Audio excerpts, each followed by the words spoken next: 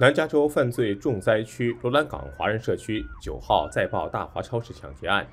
两名非裔劫匪在超市停车场对两名华人持枪抢劫。暴徒不仅将男性受害者打得头破血流，还抢走了价值六万元的劳力士手表。根据监控录像显示，该起事件发生于九号中午十二点三十五分，位于罗兰港盖尔大街和诺加利斯大街路口的九九大华超市停车场，一对华裔男女推着购物车走出超市。就在两人准备把购物车中物品搬上后备箱时，等候在对面停车位的一辆白色丰田轿车开出来，挡住了受害人车辆的退路。车上下来两名蒙面劫匪，持枪上前实施抢劫。其中一名歹徒用枪柄猛砸男性华人头部。经过大约一分钟的争夺，持枪歹徒从男性受害者手腕上抢走劳力士手表。随后，两名歹徒驾车逃逸，留下两名受害者在原地一脸惊恐和无奈。案发时，很多华人出入超市都目睹了这一幕，但没人敢上前阻止。庆幸的是，抢劫全程歹徒没有开枪，